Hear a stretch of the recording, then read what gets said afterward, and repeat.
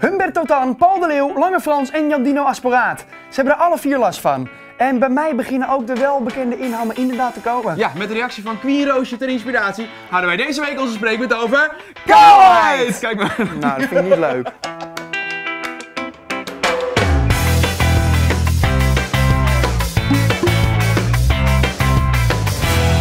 In de 90s was het de normaalste zaak van de wereld om kaal te zijn. Maar tegenwoordig heerst er toch een soort taboe op en eh, zie je heel veel mensen haarimplantaten nemen. Van Rutger Vink van Furtje tot Anessim van Supergaande. Ja, kaal zijn vind ik te fur gaan. Geef mij die implantaten maar.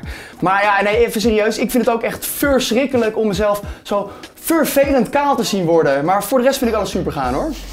Ja, maar waarom worden Europeanen zo ongelooflijk snel kaal? Want een Chinezen van Afrikaan, die doet daar niet aan. Nee, het zit echt in het blanke ras. En eh 70% van de Europeanen die verliest eigenlijk eh, wel iets van zijn haar. Ook al zijn inhammen of alles. Dat is Ja. ongelooflijk. En sommige mensen, en Rutger, ik en Nessim, die zijn daar natuurlijk eentje van, eh, die verliezen hun haar al vanaf hun 21ste, helaas. Eh, natuurlijk heeft het ook te maken met leeftijd en erfelijkheid. Ja, moet je je vader zien. Ja, mijn vader.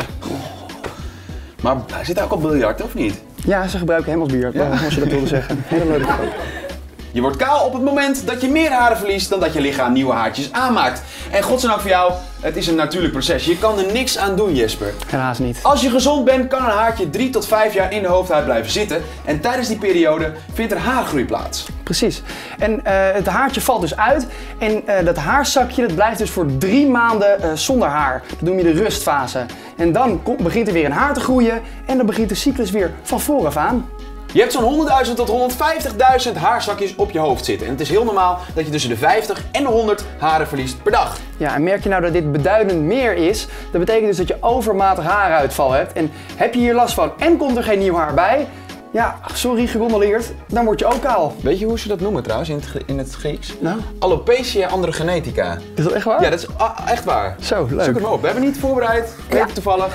Mijn vriendin was een keer heel erg bang dat ze kaal. Oké, nou ik heb hier nog wel wat anders, want ik heb hier nog een paar fabeltjes over kaalheid op een rijtje. Oh, echt waar? Ja, Nou, dan kun jij die mooi doen, want jij wordt kaal. precies. Als je even weg, kaal of- Moet ik wordt... even weg? Of? Nee je mag er wel bij mag staan als je wil.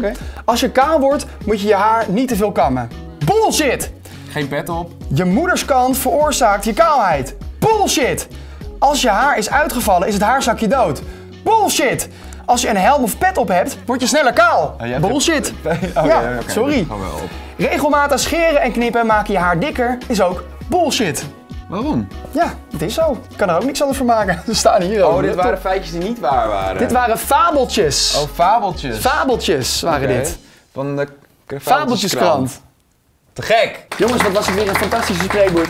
Mocht je er nou eh, in de haarimplantaten zitten, connect me en, en laat even een duimpje achter als je kaal bent. Van boven of van onder. Of wordt. Of wordt. Kaal wordt. Eh, laat ook even in de reacties weten waar wij de volgende keer over moeten doen. Misschien behandelen we jouw onderwerp wel. En wil je nou een ander spreekwoord zien over blauwe plekken? Klik naar de video daar. En wil je nou een spreekwoord zien over dikke tieten? Klik dan even hier. Kom je bij de moeder van Jesper. Oh, dat vind ik echt een leuke grap. Hierin moet je abonneren in het midden. Jongen, jongen, jongen, jongen, jongen!